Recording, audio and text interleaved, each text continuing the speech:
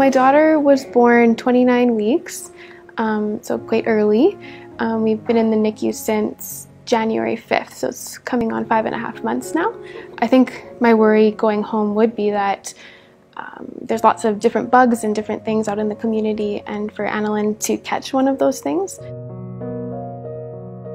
Measles can be a really nasty infection. You can also get bad gut infections, and in some cases, again, it can cause complications in the brain. And it's the younger children under three months of age who uh, get the worst disease, and also in the children who have cancer and who've had transplants. Andrew was uh, happy and healthy, and up until he was about 12 years old. And then he was suddenly diagnosed with a heart condition that was very serious. Four weeks later, he was receiving a heart transplant here at the hospital. And then, about 19 months after his heart transplant, he uh, got a diagnosis of cancer. Protecting Andrew from illness is pretty top of mind all the time. When it comes to things like mumps and measles and chickenpox, those literally are life threatening for him.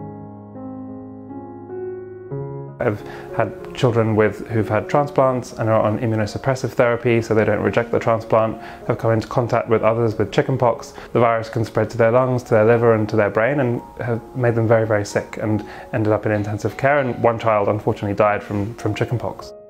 Vaccines protect not only you, the individual, but everyone around you your family, your friends, kids at your children's school. If you care about your community, you should be vaccinated. There are some parents and caregivers who are hesitant about vaccinating their children.